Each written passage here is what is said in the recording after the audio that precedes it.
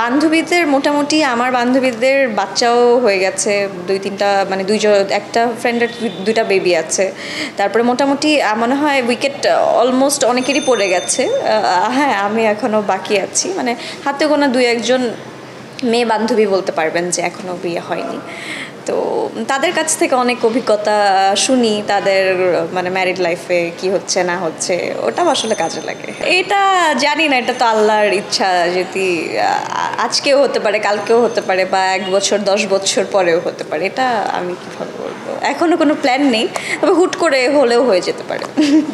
যেটা হয়েছে যে আমাদের আমার ফ্যামিলির থেকে ওভাবে আসলে বিয়ে শাদি করতেই হবে, তাড়াতাড়ি করে ফেলতে হবে। স্যান্ডেলিনা সো, রূপচর্চায়। আভিজাত্য। এরকম কোনো প্রেশার নেই।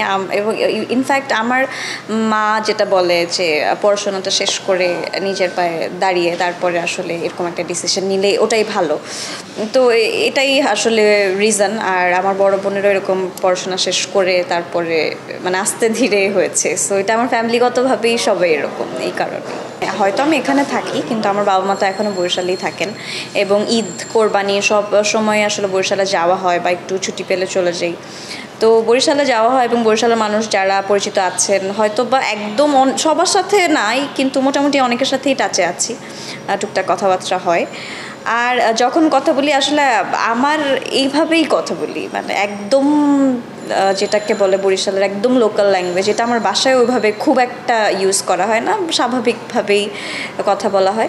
তবে হ্যাঁ আমার একদম ক্লোজ কিছু ফ্রেন্ড আছে, তারা হচ্ছে যে একসাথে হলে খুব বরিশালা বলে। তো তখন দেখা যায় ওদের ভাইবে আমিও বলি। আমি চেষ্টা করি আমার কোনো ভক্তের হৃদয় না ভাঙতে।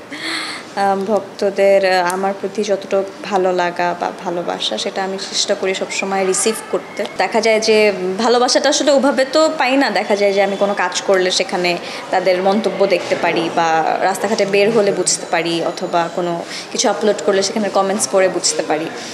তো এই ক্ষেত্রে আমি চেষ্টা করি, আসলে ওভাবে তো পারি না, তবে চেষ্টা করি তাদেরকে রেসপন্স করার এবং এই তো তাদের ভালোবাসাটাকে গ্রহণ করার। এখন সে অফার দিতে এসেছে কি না এটা তো আমি জানি না। হ্যাঁ তবে এটা ঠিক যে আমার মিডিয়াতে কাজ করার আগে আমি প্রেমের প্রস্তাব অনেক পেয়েছি। মিডিয়াতে কাজ করার পরেও পেয়েছি, কিন্তু সেটা একটু কম। মানে দেখা গেছে যে ম্যাসিভলি হয়তো বলেছে যে, আপনাকে ভালো লাগে, পছন্দ করি এটা। বাট ওই ক্ষেত্রে হয়তো বা তারা ভাবে যে, না, হয়তো সে কাজ করছে হয়তো বা এইভাবে করে বললে হবে না বা কিছু। আমি জানি না তাদের কি ধারণা। সো ওই ক্ষেত্রে আসলে জানি না ওটা একটু কম। আমার নাম্বারটা তো আসলে ওভাবে করে সবার কাছে নেই। তো হোয়াটসঅ্যাপে ওরকম কিছু পাই না। তবে হ্যাঁ আমার পেজ যেটা আছে এবং প্রোফাইল বা ইনস্টাগ্রাম যেখানে ফেসবুক ইনস্টাগ্রাম এই সব জায়গায় মেসেজ পেয়ে থাকি। তা না বিয়ের অফার এরকম পাইনি। আমি যতটুকু পড়েছি ভালো লাগে আপু ভালো আপু বলে আবার ভালো লাগে আপু আপনাকে ভালোবাসি আপু বা এরকমই বলে কিন্তু আসলে এরকম বিয়ের অফার এরকম কিছু হয়নি। আমি এখন পর্যন্ত শুনিনি। আমার তবে আমার অনেকগুলো ফেক আইডি আছে। অনেকগুলো ফেক পেজ আছে, আপনাদেরকেও বলব। আপনারা প্লিজ একটু অ্যালার্ট থাকবেন। যে যদি এরকম আপনাদের সাথে কেউ কিছু করে থাকে, তাহলে আপনারা প্লিজ মানে এই ফাঁদে পা দিয়েন না। কিন্তু এখনও শুনিনি যে আমার ছবি ইউজ করে কেউ কিছু এরকম প্রতারণা করছে।